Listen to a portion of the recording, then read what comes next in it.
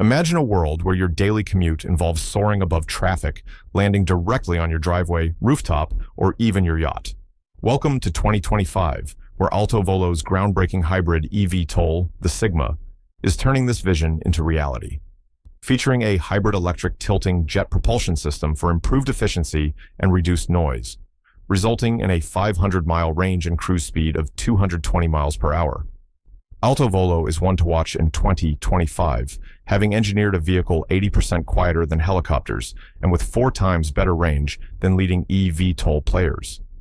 Designed for personal use, the Sigma eliminates the need for traditional infrastructure like vertiports or terminals.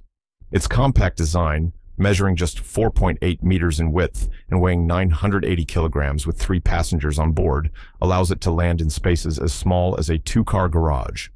At the heart of Sigma's innovation is its patent-pending tilting electric jet propulsion system. This hybrid electric setup utilizes battery power for vertical takeoff and landing, while switching to liquid fuel for extended range during cruise, combining efficiency with performance. Safety is paramount. Sigma is equipped with a triple redundant control system and a ballistic parachute, capable of deploying from as low as 50 feet.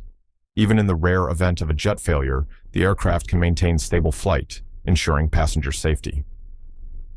Dr. Richard E. Brown of Sophrodyne Aerospace has validated Sigma's design and simulation tools from ANSYS, renowned in Formula One engineering, have been employed to refine its aerodynamics. Alto Volo has successfully completed the first flight test of Sigma's scale prototype.